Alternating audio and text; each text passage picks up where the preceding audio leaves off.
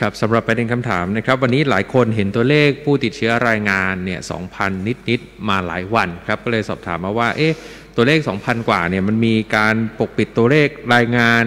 รายวันหรือไม่ เพราะว่าแนวโน้มปกติแล้วหลายคนไปเทียบกับต่างประเทศ มักจะเห็นว่าพอเกิดการระบาดแบบนี้ตัวเลขมักจะเพิ่มขึ้นต่อเนื่อง หรือว่าถ้าเกิดสถานการณ์ดีขึ้น มันก็จะเป็นเทรนด์ในการลดลงหรือว่าเป็นขาลง บ้านเรามีการปกปิดหรือเปล่า หรือว่ามีการตรวจน้อย เพื่อไม่ให้เจอผู้ติดเชื้อสูง จนคนตื่นตระหนกตกใจหรือเปล่าครับ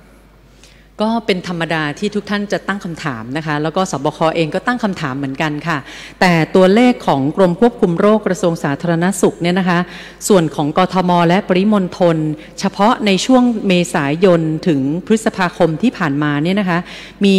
การตรวจสะสม อยู่ที่2 0 0แสนกว่านะคะในจำนวนนี้เป็นกทมประมาณ 1 0 0 0 0แสนกว่า ปริมณฑลมีการตรวจ 1 0 0 0 0แสนกว่า รวมๆแล้วเนี่ยอยู่ที่วันละหมื่นกว่าค่ะ ตรงนี้เนี่ยถามว่าน้อยก็คงไม่น้อยนะคะ แต่ว่าพอไหมอาจจะยังไม่พอค่ะ ก็ขอบคุณที่ท่านถามเข้ามามีความเป็นห่วง และในแผนนั้นนะคะกทมและปริมณฑลก็มีความพยายามที่จะ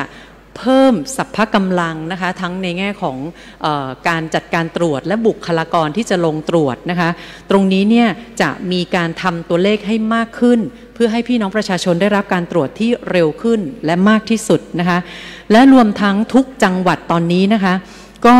มีการคัดกรองเชิงรุกทุกทุกที่ค่ะ ทางกรมควบคุมโรคก็ขอให้ทุกจังหวัดที่มีการตรวจ แม้ไม่มีการรายงานว่าเป็นผลบวกนะคะ ก็ขอให้รายงานเป็นเลขศูนย์มาด้วย ก่อนหน้านี้จังหวัดที่ตรวจและพบ จะมีการรายงานมาที่กรมควบคุมโรค หรือว่าคณะกรรมการโรคติดต่อจังหวัด ตอนนี้ตรวจไปเท่าไหร่ต่อให้เป็นศูนย์นะคะกรมควบคุมโรคก็จะนับจำนวนเหล่านั้นหมดเลยนะคะก็ขอความร่วมมือพี่น้องประชาชน และก็สื่อมวลชน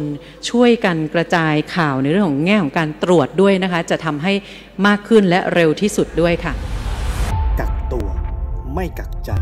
สู้โควิด ไปด้วยกัน